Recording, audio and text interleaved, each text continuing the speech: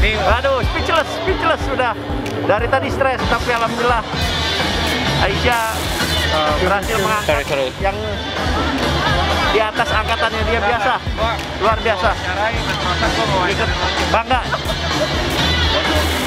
Aduh bos, silakan. Aduh bos ada komentar? Saya- masa depan Aisyah masih jauh.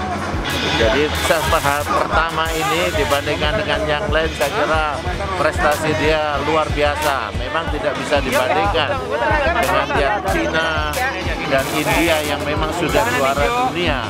Tetapi yang Aisyah ini saya kira mempunyai prospek untuk Indonesia ke depan. Pak Arlan, ada komentar? Anak 19 tahun mentalnya emang luar biasa. Untuk anak 19 tahun mentalnya luar biasa. Uh, mudah-mudahan di Olimpiade berikutnya dia bisa ngalahin India dan, dan dari China dan makin matang mainnya. Dan insya Allah semuanya Terima kasih sudah menonton. Silakan subscribe, like, dan jangan lupa komen di bawah ya bola spotter.